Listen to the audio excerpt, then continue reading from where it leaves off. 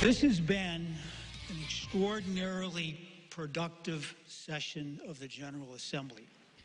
We have breaking Simply news tonight. The Illinois Senate votes to legalize sports betting after the House vote last night. Good evening. I'm Emily Braun. That bill now heads to the governor's desk, and it includes a new casino in Danville. WCIA 3's Mark Maxwell is live in Springfield now. So, Mark, the governor got almost everything he campaigned on in his first year.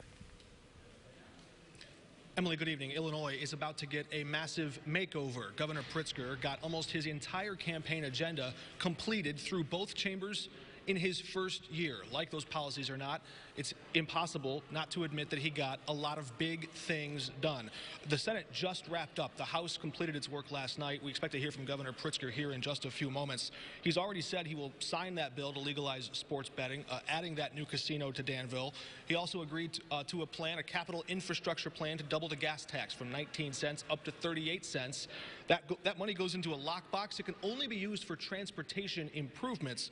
And adding all of that to legalizing recreational marijuana, the Reproductive Health Act, the $15 minimum wage, and this governor got a lot of things done. Of course, it didn't hurt that he had supermajorities in both chambers.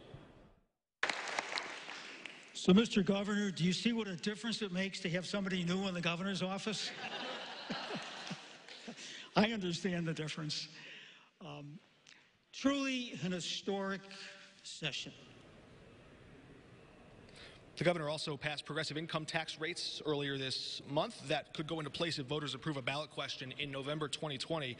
Lawmakers also managed to give themselves a $1,600 a year raise. Uh, that was their first raise since 2008. It came up in the Senate late on Friday night, but they said it was a drafting error. It was a mistake. It wasn't supposed to be there. But now, it's in the bill, the budget bills that head to Governor Pritzker's desk. We'll have much more on all these developments tonight at 10, but we're going to hear from Governor Pritzker here in a moment. For now, live in the State House, Mark Maxwell, WCIA 3, your local news leader. Mark, Emily. thank you so much. We'll check back in with you at 10.